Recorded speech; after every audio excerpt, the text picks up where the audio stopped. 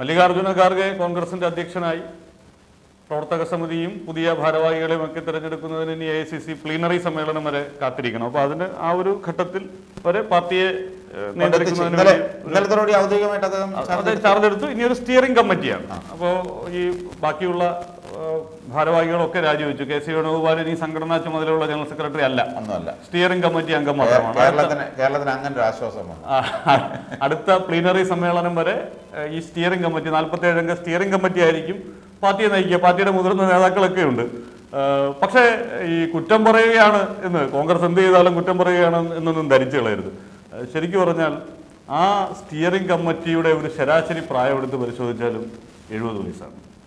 എൺപത് വയസ്സ് കഴിഞ്ഞ കുറേ നേതാക്കൾ എഴുപതിനും എൺപതിനും ഇടയിലുള്ള ബഹുഭൂരിപക്ഷം നേതാക്കൾ. സത്യം പറഞ്ഞാൽ പ്രിയങ്ക ഗാന്ധിയാണ് അതിലെ ചെറുപ്പക്കാരി എന്ന് തോന്നുന്നു. ഞാൻ ഒരു പത്ത് നാൽപ്പത് പേരെ അതിനകത്ത് പരിശോധിച്ചു. പ്രിയങ്ക ഗാന്ധിക്ക് അമ്പത് വയസ്സുണ്ട്. ബാക്കി ആ അതിന് മുകളിലേക്കുള്ള ആളുകളാണ്. ഈ നാൽപ്പത്തി ഏഴിൽ ഒരു അഞ്ചോ ആറോ പേർ ഈ അൻപതിനും അറുപതിനും ഇടയിൽ പ്രായമുള്ളവരുണ്ട്. ബാക്കി മുഴുവൻ ഈ വൃദ്ധ നേതൃത്വമാണ്. കോൺഗ്രസിനെ സ്റ്റിയറിംഗ് കമ്മിറ്റിയാണ് അപ്പോൾ സ്റ്റിയറിംഗ് കമ്മിറ്റിക്ക് ഈ പ്രായമായവർ വേണം എന്നൊക്കെ ഉള്ളൊരു ധാരണയാണോ എന്ന് എനിക്കറിയില്ല പക്ഷെ ഒരു സന്ദേശം നെഗറ്റീവ് സന്ദേശമാണ്. അവരുടെ ചിന്തൻ ശിബിരം പാസ്സാക്കിയത് പ്രായപരിധി വെച്ചിട്ടുണ്ടായിരുന്നു. അവിടെ അത് എല്ലാ സമിതികളിലും പകുതി ചെറുപ്പക്കാർ മഹിളകളൊക്കെ ഉണ്ടാകണമെന്നൊക്കെ ചിന്തൻ ശിബിരത്തിൽ അവർ തീരുമാനിച്ചത്. പക്ഷെ അതിന് ഘടകവിരുദ്ധമായിട്ടാണ് ഓരോ സംഗതി നടന്നതും. ഇപ്പൊ ഇനിയിപ്പോ കാർഗയുടെ മുന്നിൽ ഇരിക്കുന്ന പല തീരുമാനങ്ങൾക്കായി ഇരിക്കുന്ന പല കാര്യങ്ങളുണ്ട്. ഈ ചെറുപ്പക്കാരെ കൂടുതലായിട്ട് നേതൃനിരയിലോട്ട് കൊണ്ടുവരണമെന്ന് ചിന്തിച്ചവരന്ന് അന്ന് തീരുമാനിച്ചിരുന്നു. അത് എത്രത്തോളം വരും? കാരണം ഇവിടെ ഈ കിഴവന്മാരെന്ന് ഒഴിഞ്ഞു കൊടുത്താലല്ല മറ്റവർക്കൊന്ന് അവിടെയാണ് പ്രശ്നം. ഇപ്പൊ കേരളത്തിൽ ഇവിടെ കുഴിയിലോട്ട് കാലം നീട്ടിയിരിക്കുന്ന ആളുകൾ വരെ പ്രവർത്തന സമിതിയിൽ ഇരിക്കുക എഴുത- ഇപ്പൊ ആന്റണി എന്തുകൊണ്ടാ അവിടെ നിന്ന് പോരുന്നത് ആന്റണി അല്ല ആന്റണി ഇപ്പൊ സ്റ്റിയറിംഗ് കമ്മിറ്റിയിൽ ആന്റണി ഉണ്ട്. ആന്റണി എന്തുകൊണ്ടാ ഡൽഹി വിട്ട് കേരളത്തിലോട്ട് വന്ന് അദ്ദേഹത്തിന്റെ. ജന്മനാടായ കേരളത്തിൽ വന്ന് ഇവിടെ വന്നിരിക്കുന്നത് എന്തുകൊണ്ടാ? സുഖമില്ലാത്തോണ്ടാ? അദ്ദേഹം വരെ പൂർണ- പൂർണ വിശ്രമത്തിന് വേണ്ടിയാണ് അദ്ദേഹം വരെ സ്റ്റിയറിംഗ് കമ്മിറ്റിയിൽ എടുത്ത് അദ്ദേഹത്തെ എടുത്തിരിക്കുന്നു ഉമ്മൻചാണ്ടി സാറിനെ എടുത്തിരിക്കുന്നു. യഥാർത്ഥത്തിൽ ഉമ്മൻചാണ്ടി സാറിന് സത്യം പറഞ്ഞപ്പോഴേ ഓടി അടക്കം വയ്യ. പുള്ളിക്ക് അല്ല. നമ്മൾ അതാണ് നോക്കേണ്ടത്. യഥാർത്ഥത്തിൽ ഇപ്പൊ കേരളത്തിൽ നിന്ന് സ്റ്റിയറിംഗ് കമ്മിറ്റിയിലേക്ക് പരിഗണിക്കാൻ കുറച്ചും കൂടി ഓടി നടക്കാൻ കഴിയുന്ന നേതാക്കളുണ്ട്. എന്നിട്ട് ഇതിലൊക്കെ രസം വേറൊന്നല്ല ശശി തരൂരില്ല. ആ ശശി തരൂരില്ല. അത് ശശി തരൂർ അല്ല ഇനിയിപ്പോ ഒരു പക്ഷേ എക്സ്പീരിയൻസ് കുറവാണ്.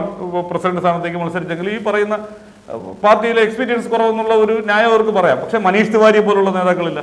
അവരൊക്കെ നല്ല സ്ട്രോങ് ആയി നിൽക്കുന്ന ആളുകളാണ്. അങ്ങനെ ഇല്ലാത്ത ഒരുപാട് പേരുണ്ട്.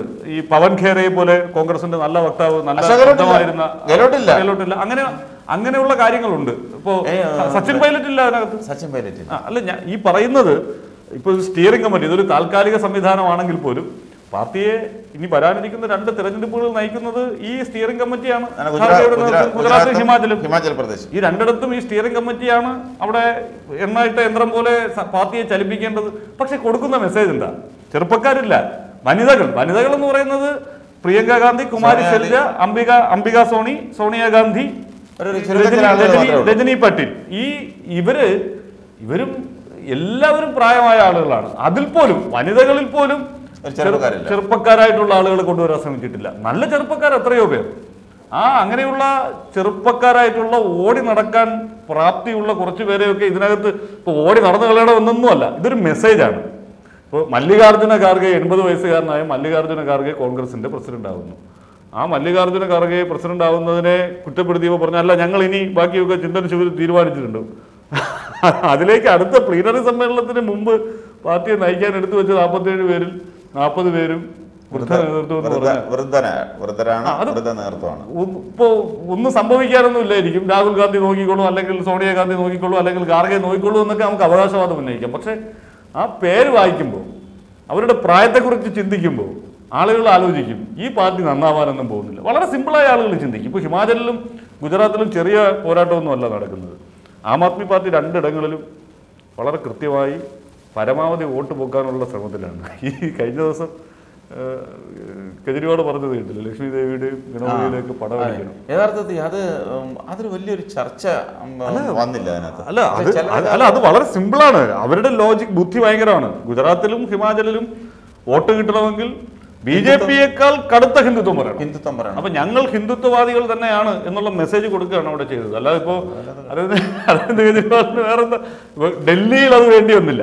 ഡൽഹിയിൽ അഴിമതിക്കെതിരായിട്ടുള്ള ഒരു വലിയ പക്ഷെ ബാക്കിയുള്ള ഇടങ്ങളിൽ പഞ്ചാബിലും അത്തരം ഒരു ആവശ്യം വേണ്ടി വന്നില്ല. കാരണം കോൺഗ്രസ് കർഷകരെ സംഘടിപ്പിച്ചു. അതിന്റെ മാത്രമല്ല കോൺഗ്രസിന്റെ ഒരു തകർച്ച ഉണ്ടാകുന്ന ഒരു ഘട്ടം. അതിനെ കൃത്യമായി യൂട്ടിലൈസ് ചെയ്യാൻ പറ്റും. പക്ഷെ ഇനി ബാക്കിയുള്ള ഗുജറാത്ത് ഹിമാചൽ പോലുള്ള ബി ജെ പിയുടെ സ്ട്രോങ് ഹോൾഡ് ഏരിയകളിൽ ബി ജെ പിയെ നേരിടണമെങ്കിൽ ഉറപ്പായും ഹിന്ദുത്വം പറയണമെന്ന് അരവിന്ദ് കെജ്രിവാളിന്റെ രാഷ്ട്രീയ ബുദ്ധി. അതാണ്. അത് വേറെ കാര്യമൊന്നുമില്ല. ഒരു കാര്യവുമില്ല.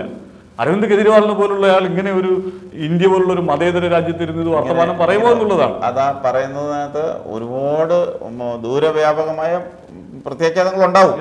ഉറപ്പായിട്ട്. കാരണം അവർക്കൊന്ന് അങ്ങനെ വരുവാണെങ്കിൽ അവർക്കൊന്ന് കേരളം പോലുള്ള സംസ്ഥാനത്ത് ഇപ്പൊ തന്നെ ബി ജെ പി ഇവിടെ കിടന്ന് അല്ല അത് അത് അങ്ങനെ തന്നെയാണ്.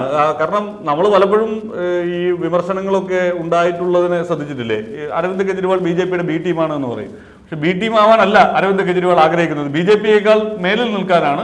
പക്ഷേ വർത്തമാന സാഹചര്യത്തിൽ ബി ജെ പിയുടെ മേളിൽ നിൽക്കണമെങ്കിൽ അതിതീവ്ര ഹിന്ദുത്വം പറയണം എന്ന് അടിസ്ഥാനത്തിലാണ് സംഭവിക്കുന്നത്. ആ ഒരു തിരിച്ചറിവാണ് അപ്പൊ ഇത് ഇതൊക്കെ പറയിപ്പിക്കുന്ന കേജ്രിവാളിനെ. അപ്പൊ അതുകൊണ്ട് കോൺഗ്രസ് ഒരുപാട് ശ്രദ്ധിക്കണം. ഇപ്പൊ ഹിമാചലിലും ഗുജറാത്തിലും ഹിന്ദുത്വം പറയണമെന്നല്ല ഹിന്ദുത്വം പറയുക എന്നുള്ളതല്ല. പാർട്ടി പാർട്ടി ചലനാത്മകമായ ഒന്നാണ്. ഇവിടെ യുവാക്കൾക്ക് എൻട്രി ഉണ്ട്. ഇപ്പൊ ഒരു പ്രവർത്തക സമിതിയും പിന്നെ ജനറൽ സെക്രട്ടറി സ്ഥാനമൊക്കെ വരുമ്പോൾ നമ്മൾ ഈ പറയുന്ന വൃദ്ധന്മാരെയൊക്കെ തന്നെയാണ് പ്രതീക്ഷിക്കുന്നത്. അതിനു മുമ്പ് ഇങ്ങനെയൊന്നും അല്ല. ഞങ്ങളുടെ പാർട്ടി ഇതാണ്. ഈ സ്റ്റിയറിംഗ് കമ്മിറ്റിയിൽ കാണിച്ചു കൊടുക്കുക. ഒരു മുപ്പത് പേരെ ഒരു മുപ്പത് ചെറുപ്പക്കാർ അമ്പത് വയസ്സിന് താഴെയുള്ള ഒരു പതിനഞ്ച് പേരെയെങ്കിലും ഈ സമിതിയിൽ ഉൾപ്പെടുത്തിയിട്ട് ഇതാ ഞങ്ങൾ നിങ്ങൾക്ക് നൽകുന്ന ഈ നാടെ നാടിന് നൽകുന്ന മെസ്സേജ് ഇതാണ്. ഈ ഈ ചെറുപ്പക്കാർക്ക് നൽകുന്ന മെസ്സേജ് ഇതാണ്. രാഹുൽ ഗാന്ധി ഈ ഭാരത് ജോഡോ യാത്ര നടത്തുന്നതിൽ ഒരു പ്രധാനപ്പെട്ട മെസ്സേജ് ചെറുപ്പക്കാർ. ചെറുപ്പക്കാർക്ക് വേണ്ടിയിട്ടുള്ളതാണ്. പക്ഷേ ആ ചെറുപ്പക്കാരെ ഈ പാർട്ടിക്കകത്ത് അംഗീകരിക്കുന്നില്ല. നമ്മൾ ഈ പ്രവർത്തനം എന്ന് പറയുമ്പോൾ അങ്ങനെയാണല്ലോ. അതിന് തയ്യാറാവുന്നില്ല. ഇപ്പൊ കേരളത്തിൽ നിന്ന് A K Antony Oommen Chandy K C Venu. മൂന്ന് പേർ. അവർ മൂന്ന് പേരാണ്. സ്റ്റിയറിംഗ് കമ്മിറ്റി പിന്നെ വന്നാൽ പിന്നെ സുധാകരനും സതീശനും അല്ല, ചെന്നിത്തല ഈ ഈ നിലയിൽ മാത്രം ചിന്തിക്കുകയാണ്. അതിനപ്പുറത്തേക്കുള്ള ചിന്ത ഉണ്ടാകുന്നില്ല എന്നുള്ളത്. ഇപ്പോ കെ- വിഷ്ണുനാഥൊക്കെ എ ഐ സി സി സെക്രട്ടറിയാണ്. വിഷ്ണുനാഥിനെ പോലെയുള്ള ഒരാളിനെയൊക്കെ അതിനകത്ത് ഉൾപ്പെടുത്താൻ വിഷ്ണുനാഥൊക്കെ ഓടി നടന്ന് പണിയെടുത്തിട്ടുണ്ട്. അത് നമ്മൾ സംഘടനാപരമായ പണി എടുത്തിട്ടുണ്ട്. വിഷ്ണുനാഥിന് പണി ഇല്ല. അല്ല അദ്ദേഹം എ സി സി സെക്രട്ടറിയാണ് ആ എ സി സി സെക്രട്ടറിയാണ് മാറിയില്ലേ? ഇല്ല മാറിയിട്ടില്ല. ആ ആ പഴയ കമ്മിറ്റിയിൽ ഉണ്ടായിരുന്ന അതിൽ എ സി സെക്രട്ടറിയാണ് റോജി ജോണും വിഷ്ണുവാണ് അതിന്റെ ചുമതലയിലുണ്ടായിരുന്നത്. അപ്പോൾ അവർക്ക് അവരെ പോലുള്ളവർക്ക് കൊടുക്കാം. പക്ഷെ അതൊന്നും ചെയ്യില്ല. അവിടെയാണ് പ്രശ്നം. ഇവ എന്തായാലും കാത്തിരുന്ന് കാണാം.